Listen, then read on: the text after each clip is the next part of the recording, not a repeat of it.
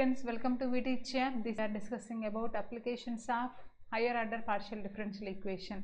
Now we are discussing one dimensional wave, one dimensional heat equation or diffusion equation అని చెప్పాను so ఇందులో ఏం చేస్తామంటే first of all X axis Y axis అని తీసుకున్నాం చూడండి ఇది ఎక్స్ యాక్సిస్ ఇది వై యాక్సిస్ ఈ ఎక్స్ యాక్సిస్ వై యాక్సిస్ మీద we are taking a rod we are taking a rod or bar of length for example నేను rod అని consider చేసుకుంటున్నా ఇక్కడ బార్ ఆఫ్ లెంత్ ఏంటన్నారు? అంటే ఓ నుంచి ఏ వరకు ఒక రాడ్ని కన్సిడర్ చేసుకుంటున్నా.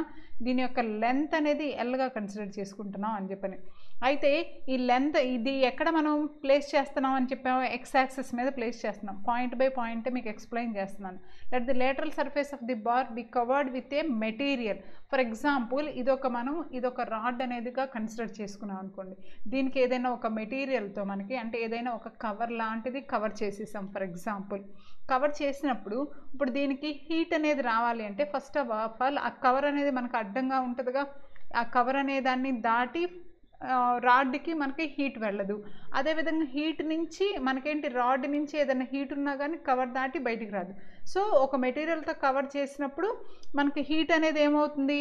దాన్ని దాటి బయటికి రావటం దాన్ని అంటే వాటిని క్రాస్ చేసి ఆ సైడ్స్ని క్రాస్ చేసి మనకి బయటికి రావటం లోపలికి వెళ్ళటం అనేది జరగదు. హీట్ ఫ్లో అనేది.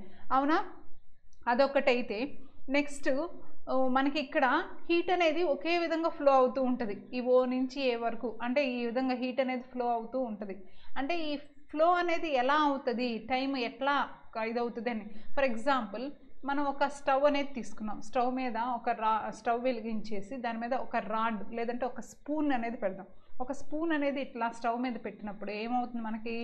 ఆ స్పూన్కి మనకి హీట్ అనేది స్టార్టింగే డైరెక్ట్గా ఇక్కడికి వచ్చేస్తున్నాయి. ఇది ఇది. ఇప్పుడు ఫర్ ఎగ్జాంపుల్ ఇక్కడ ఉంది మనకి హీట్. ఇట్లా వెలిగిస్తున్నాం. ఇట్లా వెలిగించినప్పుడు డైరెక్ట్గా హీట్ ఇక్కడికి రాదుగా మనకి. మెల్లగా ఏమవుతుంది? స్పూను కొంచెం కొంచెం కొంచెంగా హీట్ అవుతూ అట్లా ఎండింగ్ పాయింట్కి వస్తుంది. అవునా? సో అంటే ఏంటి? ఒక టైం దగ్గర దీని టెంపరేచర్ వేరేలాగా ఉంటుంది. ఇంకో టైం దగ్గర ఇక్కడ టెంపరేచర్ వేరేలాగా ఉంటుంది. ఇంకొక టైం అంటే ఒక్కొక్క టైం దగ్గర టెంపరేచర్ అనేది పెరుగుతూ ఉంటుంది. అవునా? సో అదే ఇక్కడ మనకి. ఏంటి? Let u of x comma t be the temperature at a distance x from O at any time t అయితే కనుక then we can take the partial differential equation is అని చెప్పని do square u by do x square is equal to one by c square into do u by do t from this equation do u by do t is equal to c square into do square u by do x స్క్వేర్గా denote చేసుకుంటాం. Here C square అంటే ఏంటో రాసుకున్నాము? C square అనేది అన్న ఏమంటామంటే diffusibility of the this substance అని చెప్పని. Okay? So దీని నుంచి మనకి బౌండరీ కండిషన్స్ అని ఇస్తున్నారు. బౌండరీ కండిషన్స్ అంటే ఏంటి? మనకి ఇనిషియల్ కండిషన్స్ లాగా. అంటే do u by do x of u కాబట్టి ఈజ్వల్ జీరో అయితే ఎప్పుడు? అంటే no heat can flow through the end points. Both end points are అనేవి ఇన్సులేటెడ్ అయ్యుండి no heat can flow through end points అయితే మనకి ఈ విధంగా. అంటే వాళ్ళు ఒక్కోసారి బౌండరీ పాయింట్స్ ఇవ్వచ్చు లేదంటే బౌండరీ కండిషన్స్ ఇవ్వకుండా ఈ విధంగా చెప్పినా కానీ వీటిని యూజ్ చేసుకుంటాము అని. Next both the end points are maintain at the zero degree centigrades అంటే టూ ఎండ్ రాడ్ యొక్క two end points are maintain at zero degree centigrades అయితే that can be written as ఏమని రాసుకుంటాము అనేది. At least one of the end points is maintain at non zero temperature అంటే at least one of the end point అంటే ఈ two end పాయింట్స్లో ఒకటి non zero non zero temperature అయితే అంటే ఏంటి? ఎండ్ పాయింట్ యొక్క టెంపరేచర్ ఎలా మెయింటైన్ చేసుకుంటున్నాము? నాన్ జీరో టెంపరేచర్గా మెయిన్ మెయింటైన్ చేసుకుంటూ ఉంటే then that can be written as where at least one of the temperature T naught and TL is non zero అంటే రెండిట్లో ఏదో ఒకటి నాన్ జీరో వాల్యూ అవ్వాలి. ఒకటి జీరో అయితే ఇంకోటి నాన్ జీరో అవ్వచ్చు అని. One of the end points is illustrated and the other is maintained at zero degree centigrades ఒకటి ఏదైనా వాల్యూ ఒకటి మనకేంటి? Zero degree centigrades end points రెండిట్లో. Then we can use these boundary conditions అంటే వాళ్ళు ఇస్తున్నారు ఏ ఏ బౌండరీ కండిషన్స్ ఎప్పుడు యూజ్ చేసుకోవచ్చు అని. So the boundary condition three is non homogeneous and the boundary conditions one two four are అంటే ఇక్కడ ఇచ్చారు కదా వన్ టూ ఫోర్ ఇందులో త్రీ అనేది ఒక్కటే మనకి ఏమంటున్నారు త్రీ అనే కండిషన్ ఒక్కటే నాన్ హోమోజీనియస్ అంట. రిమైనింగ్ త్రీ కండిషన్స్ ఏంటి మనకి?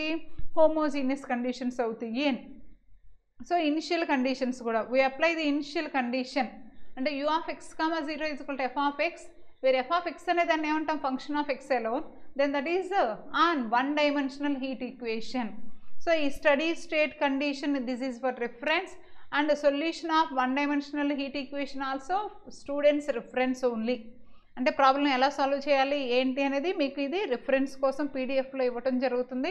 ఒక్కసారి దాన్ని చూసుకొని మీరు అబ్జర్వ్ చేయండి. ఓకే నెక్స్ట్ దీనిలో తీరం చూడండి. తీరంలో ఒక పాయింట్ కాదు మీకు మొత్తం ఫైవ్ పాయింట్స్ ఉన్నాయి. ఏంటి? The general solution of the heat equation the general solution of the heat equation అంటే ఇదేగా? సో ఇది సాటిస్ఫై అవ్వాలి. ఎప్పుడెప్పుడు? బౌండరీ కండిషన్స్ అనేవి ఇవి. Doe u by doe x of zero comma t is equal zero doe u by doe x of l comma t is equal zero అయినప్పుడు ఏ condition తీసుకుంటామంటే ఈ కండిషన్ని యూజ్ చేస్తాం.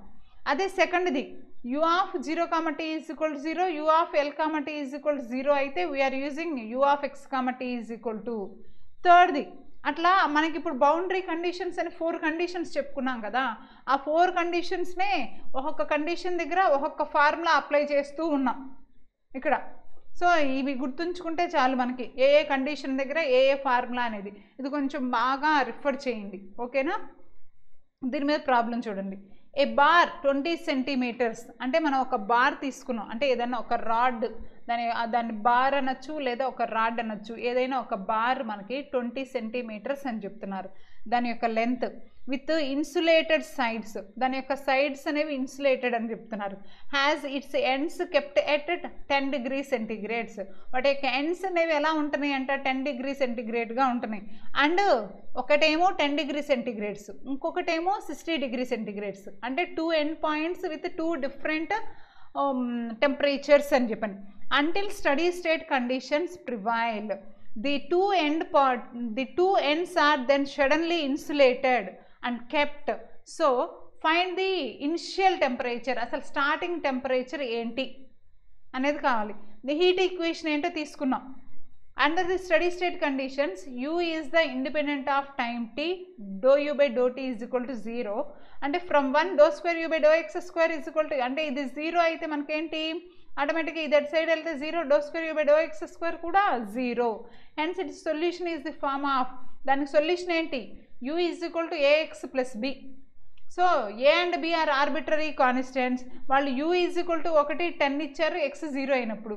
అయితే we have b u ten అయితే x zero అయితే plus b అంటే b is equal to ఎంత అవుతుంది? టెన్ ఒకవేళ u is equal to sixty అయితే అప్పుడు ఎక్స్ ఈజ్ ఈక్వల్ టు ఎంత అవుతుంది? ఫిఫ్టీ సో దాని నుంచి we have sixty is equal to fifty a plus ten is equal to fifty a is equal to fifty from that a is equal to one the initial temperature distribution is u of x comma zero is equal to x plus ten so find the temperature in a bar of length two centimetres అంటే ఏం find out చేయాలి? ఒక bar అంటే ఒక rod యొక్క temperature అనేది find out చేయాలి. దాని యొక్క లెంత్ టూ సెంటీమీటర్సే అంట.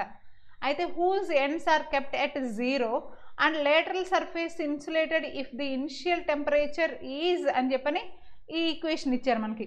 హీట్ ఈక్వేషన్ తీసుకున్నాం.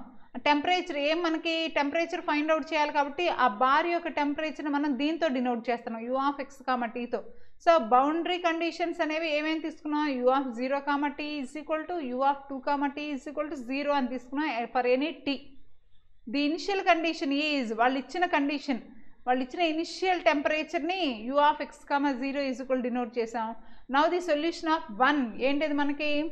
U of x comma t is equal to ఈ దీంట్లో applying third equation on four then and l is equal to two we get అంటే ఈ థర్డ్ ఈక్వేషన్ని ఫోర్త్ ఈక్వేషన్ మీద అప్లై చేసి l is equal to two కూడా sub substitute చేస్తే మనకి ఈ విధంగా వస్తుంది. Okay equating the coefficients of sine pi sine n pi by x is equal to two అంటే వాటిని ఇక్కడ ఇటు సైడ్ ఇటు సైడ్ వాటిని మనం ఈక్వేటర్ చేసాం అంటే ఈక్వల్ చేసామనుకోండి అప్పుడు a one is equal to zero a two is equal zero a three is equal two and so on a n is equal to zero substitute these values in fourth equation we get the required solution. Okay? So these are the problems on one dimensional heat equation. Okay? Thank you.